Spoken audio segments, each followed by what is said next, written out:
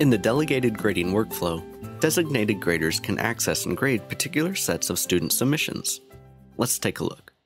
Roles with default grading privileges include instructor, teaching assistant, and grader. The users who help grade are called delegated graders, and they provide provisional grades. Delegated graders follow the same grading steps as an instructor does. Graders can access assignment submissions that they're assigned to grade on the Needs Grading page and in the Grade Center. If anonymous grading is also enabled, student names are hidden. Both access options open the grade assignment page where graders view submissions and add grades and feedback.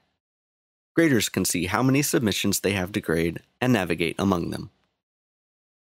An instructor can choose not to allow graders to view and collaborate on grades. If allowed, graders can view the grades, feedback, annotations, and private notes provided by other graders.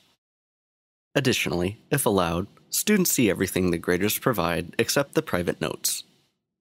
Want to add an image or record some feedback? In the Feedback to Learner box, select the editor icon represented by the letter A to open the pop-up editor window. Graders can also add private notes that only the instructor and other graders can view if allowed. Remember, students don't see the private notes anyone adds. After the grader provides the grade, the Needs Reconciliation icon appears in the Grade Center cell. No score appears until the final grader reconciles the grade.